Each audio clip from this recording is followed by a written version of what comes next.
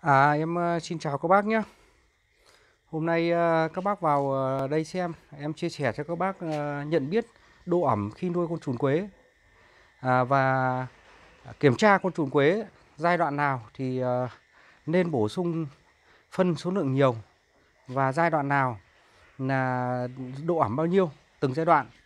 Các bác vào đây tham khảo xem rồi tham khảo nhé. Thì chăn nuôi con trùn quế thì ờ, cái độ ẩm nó quyết định đến 90% à, ờ, thành công hay thất bại ở trong cái hố nuôi con trùn quế.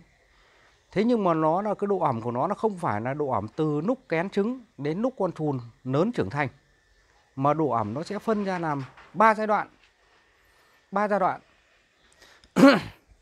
thì ờ, độ ẩm bắt đầu là độ ẩm vào cái giai đoạn kén trứng thì anh em sẽ dùng cái độ ẩm bao nhiêu mà đến cái giai đoạn mà con trùn nó lở ra rồi thì độ ẩm ở giai đoạn bao nhiêu và đến cái giai đoạn mà con trùn nó đã trưởng thành thì à, độ ẩm bao nhiêu?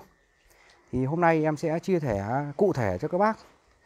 À, nào mà chăn trùn quế mới chăn trùn quế nắm bắt. À, à, kỹ hơn về cái độ ẩm để cho con trùn quế tối ưu về con trùn quế để con trùn quế phát triển. Các bác nhé. Thì à, các bác bới ra. Đấy chẳng hạn như cái hố này của em đây. Đó là phân em đã bắt đầu cho vào. À, phân à, gọi là phân số lượng nhiều đấy bắt đầu cho vào số lượng ờ, phân vào nhiều. Thì ở cái giai đoạn này thì là nó đã qua quá trình cái kén trứng nở rồi. Bắt đầu là đến cái lớp ờ, chùn con và chùn trưởng thành phát triển rất là nhiều rồi.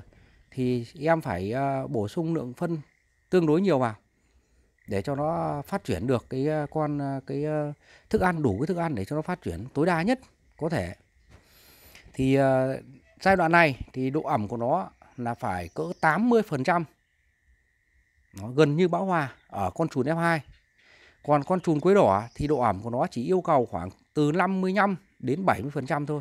Nhưng riêng về con F2 thì là nó phải ờ, uh, 80% thì nó mới phát triển được. Con trùn lớn đấy con trùn F2 đấy. Còn bây giờ đây là cái giai đoạn kén trứng mở ra thành trùn nhỏ. Em mang ra chỗ sáng em quay cho bác xem. Tức là từ cái giai đoạn từ kén trứng nở ra được cái trùn nhỏ ni ti như này nó là cái con trùn bắt đầu mới bắt đầu mới uh, nở ra khoảng cỡ độ tầm độ một tuần tuổi. Đấy như em gọi là một tuần một tuần tuổi. Nó con trùn nó mới ni ti như uh, cái sợi tóc thôi.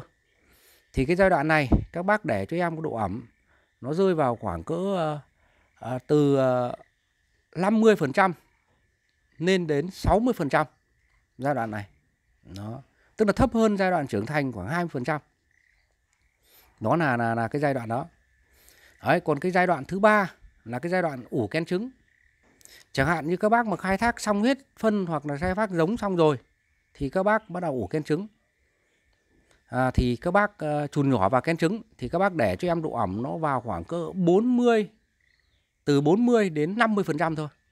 Thì cái lớp chùn con đây nó nở rất là nhiều. Nha các bác nhé. Đó. Cái lớp uh, chùn con đây em bới cái chỗ này là chùn to mấy chùn con bắt đầu là nó tưới phân thì nó giạt ra đấy nó chùn to chùn con cái lớp chùm li ti là nó nở rất là nhiều ở cái giai đoạn độ ẩm nó khoảng cỡ 45 đến 50 có cho 60 nó nở. Thế nhưng mà uh, con chùm quế đỏ thì nó khoảng cỡ 400 phần trăm nó nở ken trứng nở tối ưu nhất. 45 đến 50 phần trăm là lượng ken trứng nở phát triển rất là mạnh. Nhưng nó nở xong rồi thì các bác uh, lại phải bổ sung thêm nước đấy như em nói đấy. Đó là cái giai đoạn thứ hai. Còn cái giai đoạn này là cái giai đoạn bắt đầu là con chùm à, đã lớn lên rồi. Đấy thì các bác phải cho phân này. Đấy, cho phân rồi à, giữ cho nó cái độ ẩm xuyên suốt. Độ ẩm xuyên suốt là các bác phải nhớ là độ ẩm xuyên suốt là độ ẩm à, tức là lúc nào cũng như lúc nào đấy chứ không phải là lúc thì ẩm quá mà lúc lại khô quá đâu. Đấy là gọi là xuyên suốt. Còn cái thứ hai nữa là cũng cách cho ăn. Đấy các bác nhìn nó cái vẹt hàng đấy. Các bác cho ăn một vẹt này thì các bác lại phải bỏ một vẹt kia. Đấy, bởi vì là trong quá trình ấy, bác cho ăn ngày hôm trước thì ngày hôm sau là nó sẽ tụ vào đây như cái đống này em mới đổ vào tối hôm qua nhé em chưa chưa tản ra cho ăn. Đấy, thì em bới lên cho các bác. Nó đấy là dơm này bao gồm là dơm này những cái chất ăn thừa của con, con bò. Đó mới phân tươi. Đấy, giai đoạn này thì là giai đoạn con trùn phát triển. Để em bới cho các bác xem. Là con trùn nó phát triển cực kỳ nhiều rồi. Nó bốc lên nó dày đặc rồi nó to nó dày đặc như này rồi. Nên các bác phải dùng cái loại phân nó đổ trực tiếp vào đấy. Không cần phải cho hòa nước đâu cái gì à đó, cái lượng trùn nó nhiều như thế mà các bác cứ hòa nước các bác tưới vào là nó làm bịt cái hố lại. Đấy nó không tốt đâu nhá. Đó, các bác cứ lấy cái phân bò mới bài tiết. Nó các bác đổ thẳng vào đấy xong bác lấy cái bồ cào hay lấy cái cuốc các bác san nó ra. Nó san nó ra thì trong quá trình khoảng cỡ 10 đến 10 năm ngày sau là bắt đầu là nó dày cái hố lên. Lúc nào nó ẩm à nó khô thì các bác phun xương cho em đó, chứ cái lượng trùn nó nhiều như thế này mà các bác uh, lấy cái hòa cái phân nước các bác tưới lên trên mặt thì em nói một hai nứa lần đầu thì thấy nó phát triển. Nhưng về sau này em nói bác không bao giờ thấy nó phát triển được. Thế nên hôm nay em mới làm cái video đó, cũng xoay vòng về con trùn quế và nhận biết cái độ ẩm của nó là rất là quan trọng. Cách thứ hai là cách cho ăn cũng là quan trọng đó. độ ẩm thì bao nhiêu thì vừa. Con trùn tầm này giai đoạn lớn như này nhé các bác cho em bão hòa. 80% cho em các bác bới lên từ trên đến dưới 8% Đấy, nền các bác thoát nước được. Còn nếu mà nền không thoát nước được thì cố, cố gắng làm sao dùng cái hệ thống phun xương cho em. Đấy, còn nếu mà nền mà thoát nước được thì các bác cứ ờ, lấy cái ờ, vòi nước các bác bơm được không ảnh hưởng gì. Chứ bây giờ mà giai đoạn ờ, nó lớn như này rồi là lượng nước ở trong thân nó rất là nhiều. Các bác mà không cho độ ẩm tốt mà không tạo được nó cái mùn đấy, như rơm rác đấy cái mùn nó cho vào cho nó ăn thì con chuồn sao phát triển được. Thế nên là em cũng làm video nào em cũng nhấn đi nhấn lại các bác là tận dụng toàn bộ những cái chất thải hữu cơ. Rồi à, rơm dạ lượng cho ăn làm sao cho bổ sung cho nó nhiều vào một chút thì nó nó phát triển được. Đấy, như rơm dạ em có bao giờ em vứt đi đâu cái chỗ này là cũng lại mới thả được ờ, uh, 3 ngày. Đấy em thả xong em để đấy là giai đoạn này là giai đoạn ủ trứng. Em có có cho ăn đâu.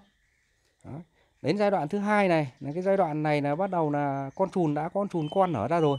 Thì bắt đầu là em ờ, tiến hành là giữ nước cho nó một hai ngày để cho nó đủ cái độ ẩm và cho con trùn nó lớn lên một chút.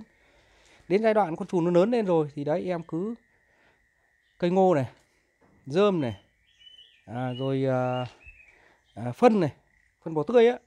Đó phân bò tươi này em đổ trực tiếp xuống đấy. Rất đơn giản. Không phải cầu kỳ khó khăn gì đấy, nhưng mà cố gắng làm sao các bác phải phân ra cho em được ba ba giai đoạn. Đó, giai đoạn chùn nhỏ này. Đấy, chùn nhỏ thì các bác bới nên kiểm tra thường xuyên các bác biết. Trong hố của bác cái lượng chùn nhỏ mà nhiều. Như thế này như cái chỗ này em đang bới này thì lượng chùn nhỏ là nó uh, đa số là chùn nhỏ. Thì cái giai đoạn này các bác để cho em cái độ ẩm khoảng cỡ nếu con chùn F2 thì bác để cho em cỡ 60% độ ẩm là thích hợp. Ừ còn nếu đến cái giai đoạn mà nó lớn rồi thì các bác nâng lên cho em 80% bác cứ nâng lên từ 75 đến 80% đó, các bác bới từ trên xuống dưới nhá các bác cảm thấy mà lấy tay các bác bóp chặt lại mà có thấy nước rõ ra là 7 80% ừ. còn uh, cho ăn thì đấy phân đấy cứ uh, bò với bài tiết rồi tất cả cái cây ngô cây ngáy thừa các bác đổ hết vào hết hết ra cho em. Đổ nó vào đấy xong rồi các bác lấy cái xẻng các bác hất tung hết ra đấy, đơn giản thôi. Có cái gì trâu bò thừa ăn thừa ăn thiếc các bác cứ vứt hết vào đấy. Ừ. còn đến giai đoạn nó to như này rồi đây những con chùn nó đã phát triển to như thế này rồi. Đấy, em bới lên cho các bác xem. Nó đã tỷ lệ chùn to nhiều như thế này rồi thì nâng độ ẩm lên 80 75 80 phần trăm cho em. Đấy. Còn cái giai đoạn nhỏ thì các bác là ừ, cho 60 còn giai đoạn kén trứng là các bác cho em từ 45 đến 50 phần trăm thì lượng chu nở rất là mạnh. Đấy nó có ba cái giai đoạn đó. Phải làm tuân thủ ở trong cái hố nuôi chùn quế thì mới thành công được. Còn nếu các bác mà cứ ờ, độ ẩm lúc nào cũng như lúc nào ấy, là không thành công đâu. Cái thứ hai nữa là cái rơm. Cái rơm này cũng là rất quan trọng rơm rác rồi các cái chất nền. Nó các bỏ vào để tạo độ thông thoáng cho con run tạo độ xốp và thông thoáng cho con run nó phát triển. Đấy. cái thứ ba nữa là trong quá trình cho ăn, thì các bác là nên, nếu nơi cho ăn ờ, theo vẹt thì các bác nên đổ cách quãng ra, đừng đổ bịt mặt. Cách quãng ra thì dụ như chỗ này đây, em mới cho ăn thì là con trùn con nó chui vào đây rất là nhiều. Nếu như lần sau mà các bác mà không cách quãng ra mà các bác lại đè vào cái chỗ đó là cái lượng trùn nó rất là nhiều ở trong đó, là nó bị nguyên cái phân tươi đưa trực tiếp vào đấy. Thế là nó bị ảnh hưởng rất là nhiều. Nó là như vậy đấy là những cái yếu tố để nuôi được con trùn quế nó chỉ như thế thôi.